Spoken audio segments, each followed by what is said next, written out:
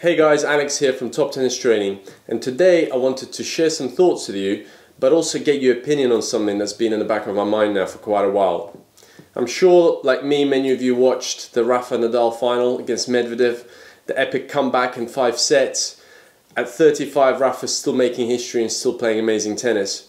Now, I was lucky enough to be watching the match and streaming it for our other channel, Love Tennis, and I couldn't help but feel so inspired after the match that I, it just made me want to go out there and start competing again. So here's my thinking. I want to get back out on court and see where it takes me. Now previously I have played pro, I was British number 4 and 260 in the world. But unfortunately I had a big setback as I had a knee injury which forced me to retire after two knee surgeries. Currently I can't exactly say I'm at my fittest or that I've been playing regularly so it'd be quite the personal challenge. What do you think? At 35 is it too late to try and compete or can experience and hard work get me there? Let me know in the comments below. I'd love to hear your thoughts. So a little update for you guys. I have decided to just go and play. Forget about waiting. Just gonna go out there and hit some balls. So just called a friend of mine who works in a club not too far away. He's got a court for us in half an hour. So I'm gonna go and get myself ready, uh, get out on court and hopefully uh, take you guys on court with me for my uh, first training, uh, well, first training of the year actually. Uh, in the car now, about to set off, quite excited. Uh, it's like when you've been kept back from uh, from the court for so long you just want to get out there so I'm excited to go I'm ready to go hopefully I don't get injured on the first day but uh, wow can't believe I'm doing it so being organized me I've forgotten the SD card for my camera so I'm to use my phone for a bit. We've already hit down the middle. To do a few drills cross court forehand to forehand feeling great at the moment. It's always that time when you come back and played. But let's see how it goes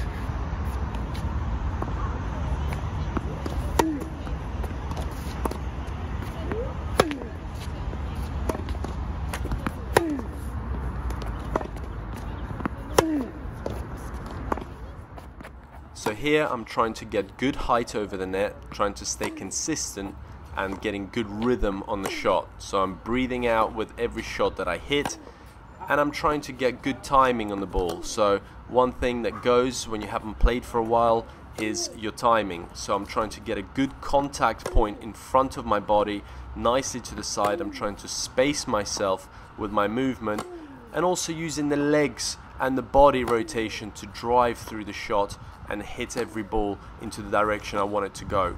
Now having the targets there obviously helps because it gives you something to aim for and it can also show you the quality of your shot.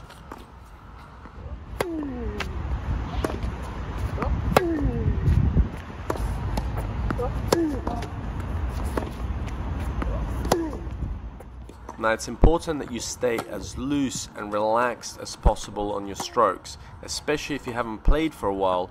By tensing and going for it too much, you risk injury and also the quality of your shot will drop.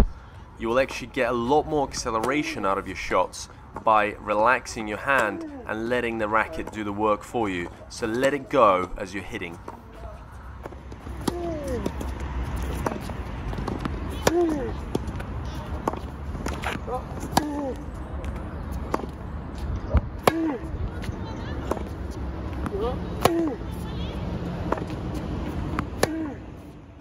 Now I'm also trying to recover after every shot, so a few steps back into the middle after I hit it, that recovery step not only works on my fitness, but also makes it as realistic as possible to a real life rally scenario you will face in matches. Ah.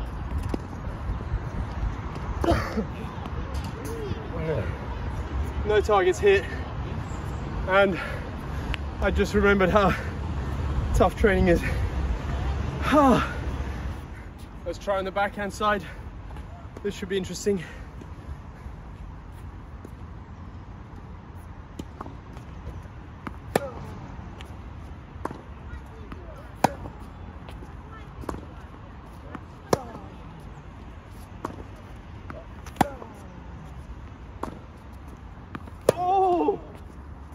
Now it's the same thing on the backhand side. I'm trying to get good height over the net, use the legs to drive through the ball and stay loose and breathe through contact. I'm using my left hand on the backswing to make sure that the take back is deep but also keeping that racket head above my hand in order to give it the space to accelerate into the ball.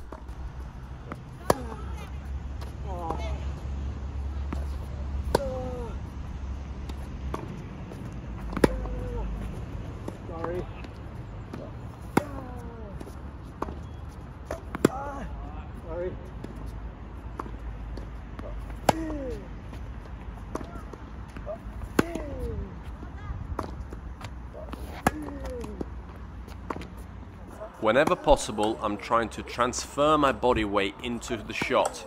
So I'm using my legs to transfer from my back foot to my front foot. This gives me easy power and makes the ball bounce up into my opponent on the other side. It also helps me prevent any injuries.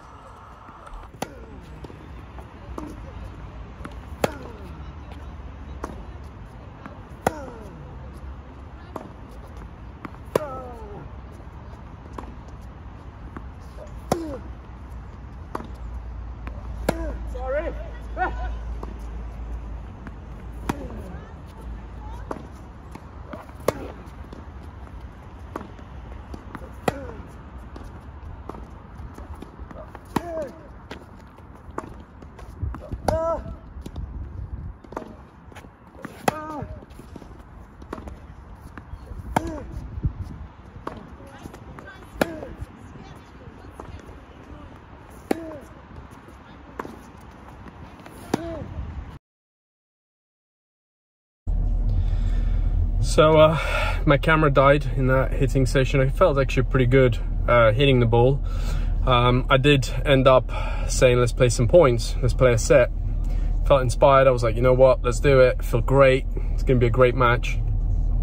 It was two all, and then I lost four games in a row. I lost 6-2, got absolutely chopped. Feel absolutely horrendous now. I was so positive, feeling so good, and I, I literally felt embarrassed out there. Those four games, are, it's amazing how different practice is to matches, and if you haven't played, how much worse it feels when you're when you're out there. Like I started missing, and I almost didn't have a way to counter that. How do you come back? What do you do? I didn't have a plan A, plan B. At the beginning, I came out kind of guns blazing, hitting everything great, a few balls, hit, hit a few winners. And then the moment I started missing, my whole game just fell apart. It's I don't know how many of you guys have felt that, but I felt like before if I started feeling that on the court, I'd have something to lean back on. So I'd, you know, get the ball in, try and get some height, get some more spin, like get into some longer rallies. But I just had nothing out there. Like I tried to do that and I'd drop the ball short and he'd put away the ball, or he'd come forward and I couldn't pass him, or the ball just felt a bit too far out of reach and I then pushed myself. I just feel gutted, like I know I shouldn't feel like that. I know I should feel more like expected that I'm not going to play great tennis straight away, but I just I thought I'd be better than that, and uh, it's annoying that I wasn't able to show you that my my my battery ran out on the phone, so uh, I couldn't record uh, the the session for you. It would have been great for you guys to see that set, or maybe not actually. It'd be a bit embarrassing, but anyway hopefully that now gives me a bit of motivation to come back and uh, work on my fitness a bit. I felt slow out there felt sluggish so maybe if i get a little bit stronger uh, come out the blocks a little bit faster after the serve and just get maybe hit a few more times before i play another set. I don't know. But back to the drawing board for me guys and uh, yeah painful